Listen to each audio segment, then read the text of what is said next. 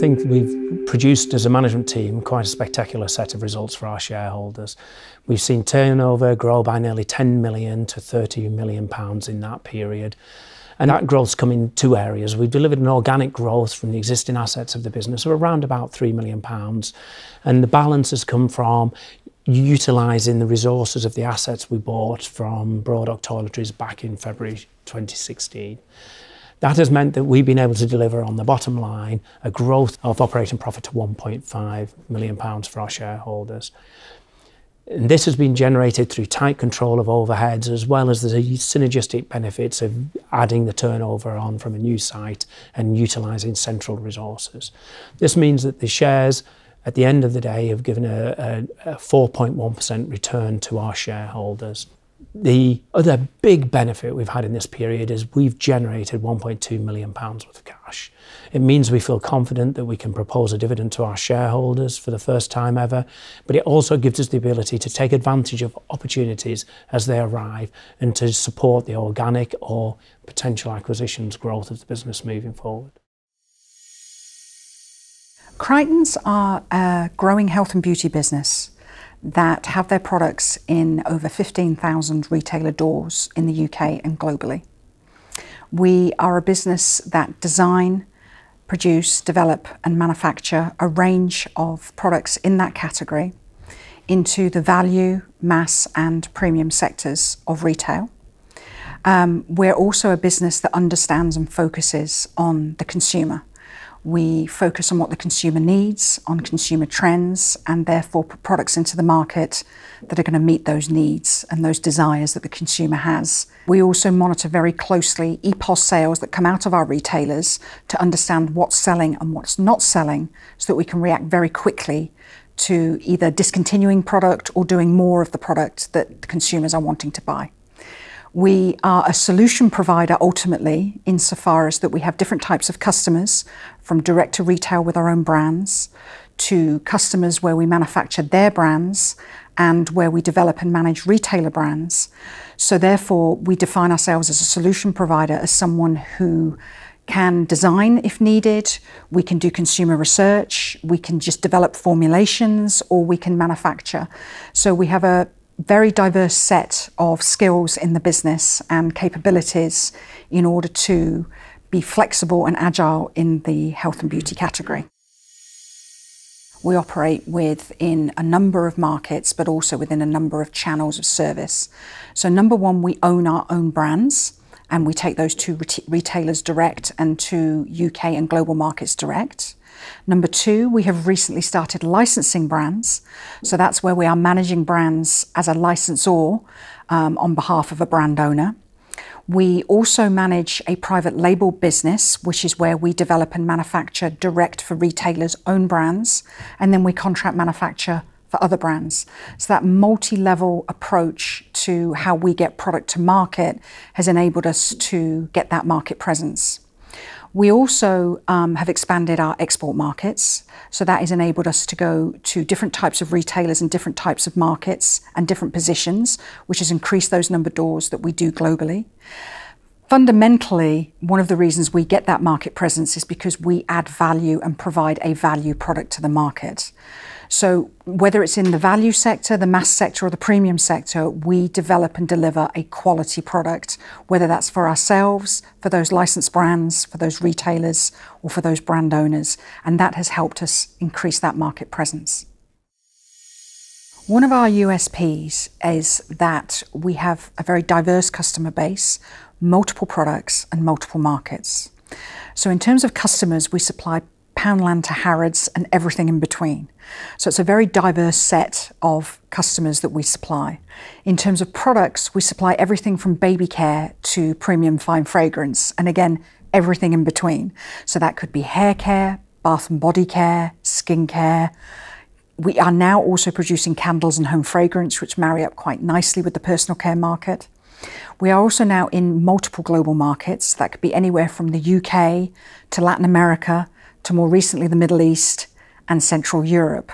So the breadth and depth of our business is quite significant in terms of what we supply, who we supply it to, and where we supply it. The reason we promote this in our business is we believe it gives us a robustness and a resilience in terms of being able to respond to opportunity and more importantly understand the consumer globally and understand markets ultimately that means we innovate product and we bring product to the market that hopefully is going to be successful, not just in the UK, but in multiple markets. The factor that makes Creighton successful is its people. The strength and depth of the team that we have allows us to be agile, flexible, and diversify. We spend a lot of time training our team and picking the right people to develop throughout the business. This includes a very successful graduate scheme where we bring in all sorts of talent throughout the business, whether that be in marketing, sales, engineering, purchasing, and we bring them up through the business. We like to say we grow our own, which can be very successful.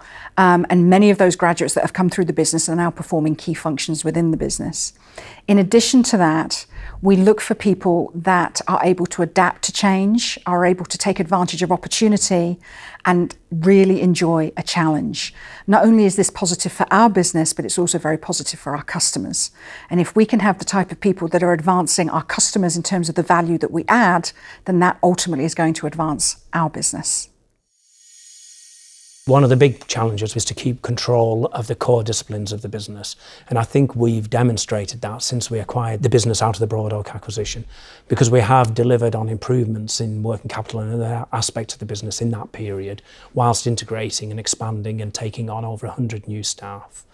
So we've been successful there, but that's a key aspect we've got to continue to do going forward.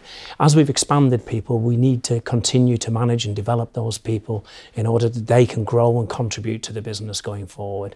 So again, we need to continue our very good graduate development and other training programs so that we can recruit, develop people to meet the needs of the business as it expands. The big challenge facing us now as we've expanded is how do we maximise the assets we've bought and make sure we generate that and cope with the expansion. So we're now going into a position where we're having to flesh out and build on our manufacturing capability in order to meet the growing demand that is coming our way. And that will entail looking at targeted investment to automate where possible and take labour costs out. Because again, we see a big challenge coming forward as the market um, becomes tighter for labour in the over the coming year. We, we have a key focus to control our margins and make sure that we deliver a good profitable business. We are not a company that is going to compromise on that. We need to make sure that we're delivering a product and a profitable product that will deliver shareholder value.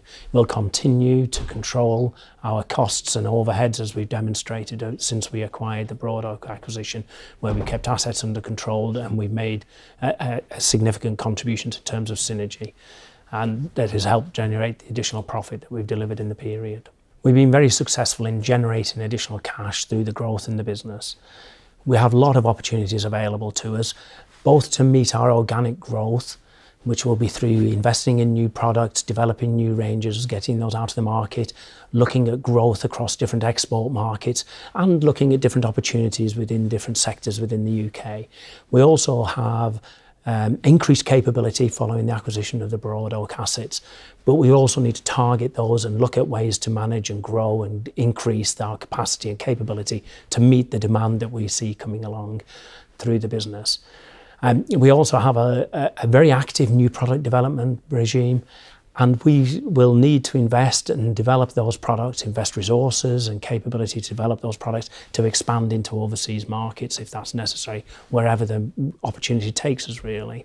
Finally, we've got the opportunity and the resources and the capability, again demonstrated with the Broad and how we've integrated that business to bolt on significant bits of business. So there may be opportunities out there that we now have the capability to take advantage of very quickly that will significantly grow the business drive the bottom line and add shareholder value.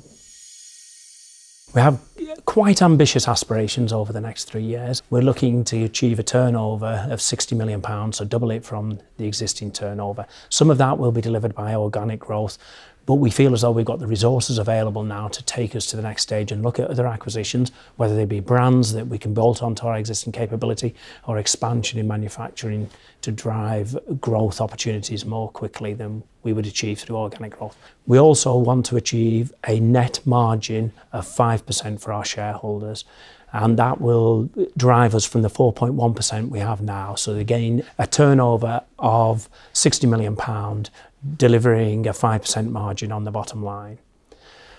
We then have an aspiration to pay to our shareholders a dividend yield of around about 2.5% on a consistent basis. We'll start cautiously, but we'll work towards that figure over the three-year period.